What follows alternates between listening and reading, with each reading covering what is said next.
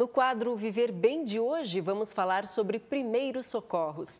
No dia 14 de setembro foi celebrado o Dia Mundial dos Primeiros Socorros, o atendimento de emergência que pode preparar a vítima para um atendimento especializado.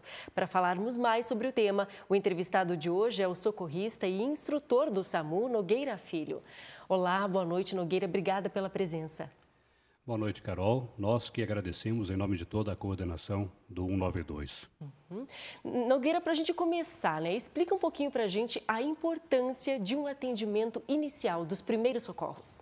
Exatamente. Primeiramente é manter a calma e acionar o 192 ou o 193, dependendo da situação. Rapidamente fazendo esta ação, chegando próximo à vítima, aí terá uma determinação do que fazer. Se é uma vítima que não responde, você precisa chamar e acionar o socorro, iniciar a compressão torácica se ela não respira, mais uma vez, mantendo sempre a calma e pedindo por ajuda. O mesmo acontece em casa, com queda ou então em desmaio. O que fazer? Colocar a pessoa ao solo ou numa superfície plana, elevar os membros inferiores para que a oxigenação vá melhor ao cérebro. Então, são ações que a gente precisa estar praticando quase que no dia a dia seja na escola, seja no comércio, seja é, em reunião de entidades, para que realmente todas as pessoas possam estar preparadas para este primeiro atendimento. Uhum. É muito importante também que a população entenda né, o trabalho realizado pelo SAMU aqui na nossa região.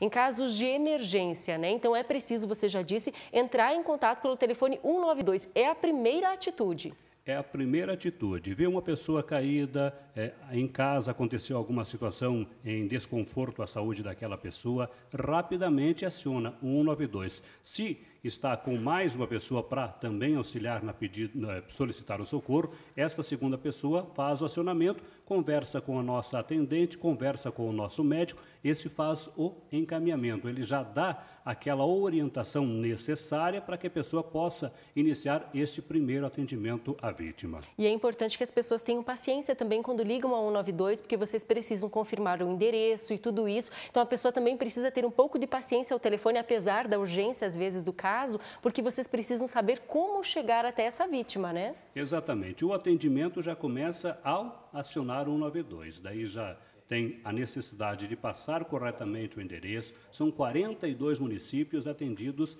pelas equipes do SAMU nessas 10 bases descentralizadas. É necessário falar com o médico, de suma importância, porque o médico estará destinando o atendimento correto para aquela urgência ou emergência. Uhum. E para cada situação, Nogueira, existe um atendimento diferente quando é um caso de queimadura, por exemplo, ou um caso de acidente, de fratura, né, um caso de afogamento, engasgamento em criança? Cada situação exige um atendimento diferenciado? Cada situação exige do socorrista que vai no atendimento já a sua preparação, né?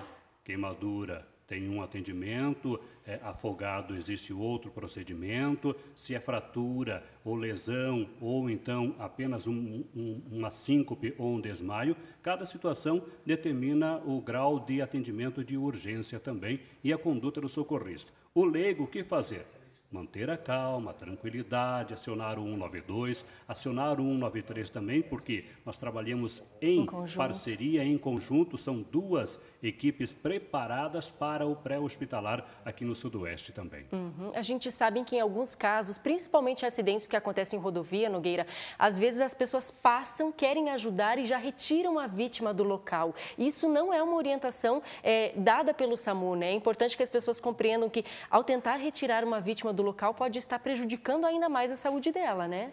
Além de prejudicar, dependendo da situação, ela corre o risco também de se tornar uma vítima. Ou seja, não observar se está sinalizada a rodovia, parar o carro próximo ou então do acidente, descer rapidamente naquela angústia de tentar auxiliar, coloca em risco a sua vida também. Então é importante o seguinte: deparou-se com um acidente, Primeiro, observar se está sinalizado. Acionar o bombeiro, acionar o SAMU, ou Polícia Rodoviária Estadual ou Federal também, ou até a Polícia Militar. Daí as equipes vão dando a orientação. E evitar de retirar essas pessoas rapidamente do carro, porque somente com tomografia, com ressonância, com raio-x, é que nós teremos a certeza de que a pessoa internamente não teve nenhuma lesão mais grave. Então, tentando ajudar, eu coloco em risco também a, a, a vida ou a integridade daquela pessoa naquele momento. Né? Uhum. Para encerrarmos a nossa entrevista, eu acho que é muito, muito importante a gente frisar aqui que manter a calma sempre é fundamental, né, Nogueira? É fácil?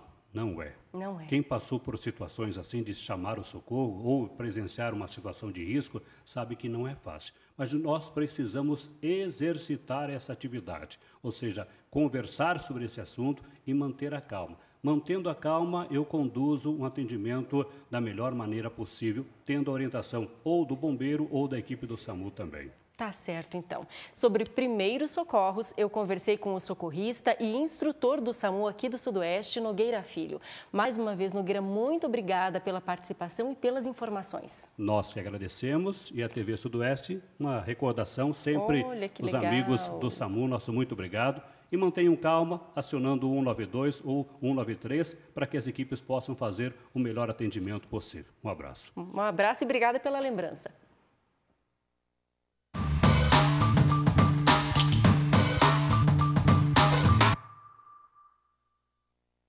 E o final de semana foi de velocidade no cartódromo Ayrton